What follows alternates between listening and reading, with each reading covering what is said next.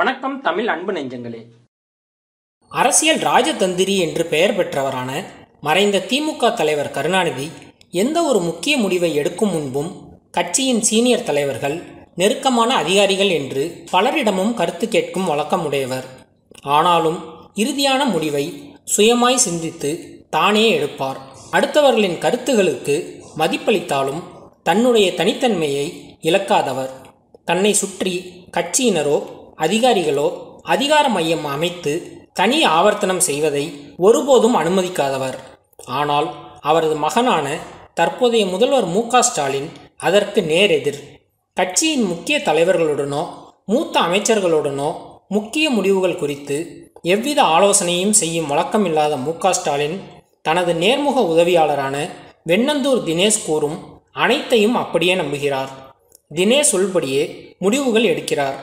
தினேஷின் வார்த்தையை சிறிதும் மீறுவதில்லை என்கின்றனர். இன்னும் ஒருபடி மேலே போய் கோட்டை வட்டாரத்தில் தினேஷை நிழல் முதல்வர் என்றே உயர் அதிகாரிகள் வர்ணிக்கின்றனர். யார் இந்த தினேஷ்?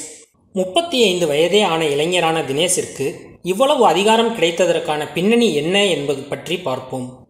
திமுக தலைவரான கருணாநிதி மறைவிற்கு பின் எதிர்க்கட்சி தலைவராக இருந்த மு க ஸ்டாலினின் நிழலாக இருந்தவர்கள் மூன்று பேர். மருமகன் சபரீசன் மகன் உதயநிதி மற்றும் நெருங்கிய நண்பரின் மகனான அன்பில் மகேஷ் பொய்யாமொழி ஆகியோரே அந்த மூன்று பேர். இவர்களை மீறி மு. ஸ்டாலினை எப்பேற்பட்ட நபராலும் நெருங்க முடியாது. இவர்களது பேச்சை மீறி மு. ஸ்டாலினும் எதுவும் செய்ய மாட்டார்.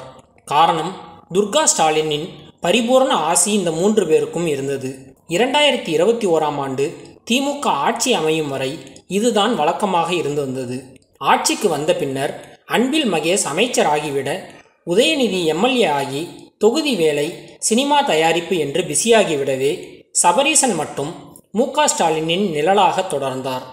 அதிகாரிகள் மற்றும் அமைச்சர்கள் மத்தியில் ஸ்டாலினுக்கு இணையான மரியாதை சபரீசனுக்கு தரப்பட்டது. ஆனால் திமுக ஆட்சி அமைந்த பின் சபரீசனின் சில வேண்டத்தகாத நடவடிக்கைகளால் மத்திய அரசின் உளவுத்துறையான ஐபி அவரை உன்னிப்பாக கவனிக்கத் தொடங்கியது.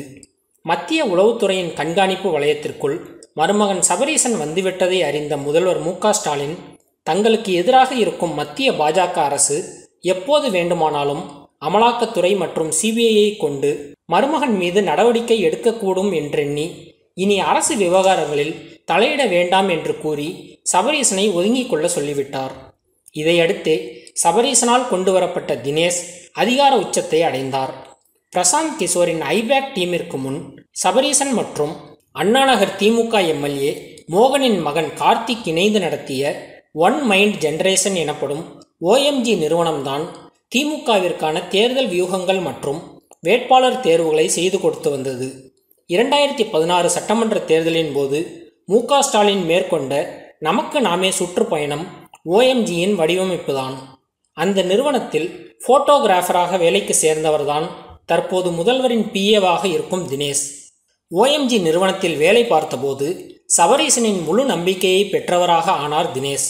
தினேஷின் சோசியல் மீடியா நாலேஜ் சபரீசனை வெகுவாக கவரவே மு ஸ்டாலினின் ஃபேஸ்புக் மற்றும் ட்விட்டர் அட்மினாக தினேஷிற்கு புதிய பொறுப்பு தரப்பட்டது.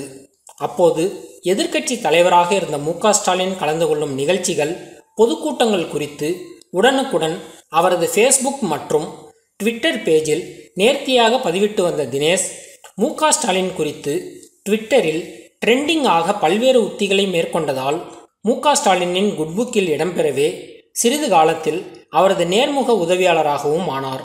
துர்கா ஸ்டாலின் உதயநிதி ஸ்டாலின் மற்றும் சபரீசன் ஆகியோரின் முழு நம்பிக்கையை பெற்றவராக தினேஷ் இருந்ததால் மு ஸ்டாலினும் தினேஷிற்கு முழு சுதந்திரம் அளித்தார்.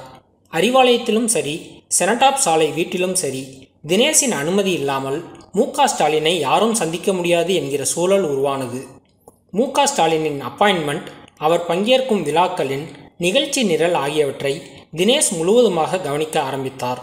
எந்தவித ஆர்ப்பாட்டமும் இல்லாமல் மு ஸ்டாலினுடன் அமைதியாக உடன் வருவது எத்தகைய சூழலையும் லாவகமாக கையாண்டு சமாளிப்பது ஆகியவை தினேஷின் ப்ளஸ் பாயிண்ட்டுகளாக கூறும் திமுகவினர் தினேஷின் மைனஸாக பெரும் பட்டியலே போடுகின்றனர்.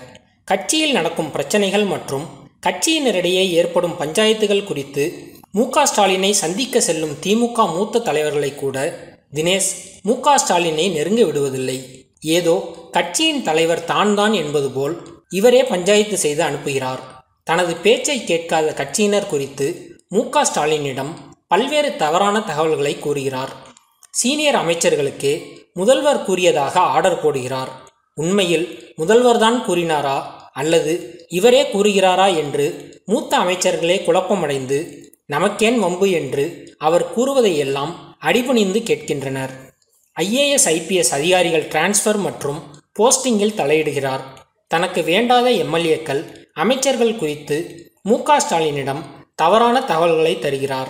அரசு நிர்வாகம் தொடர்பான முக்கிய முடிவுகளில் முதல்வரை தவறாக வழிநடத்துகிறார் என்று தினேஷ் மீது கட்சி சீனியர்களே பல்வேறு புகார்களை கூறுகின்றனர். மேலும் இது போன்ற செய்திகளை தொடர்ந்து பெற்றிட தமிழ் ட்ரெண்டிங் சேனலை சப்ஸ்கிரைப் செய்யுங்கள். உங்கள் கருத்துக்களை கமெண்டில் பதிவிடுங்கள். நன்றி.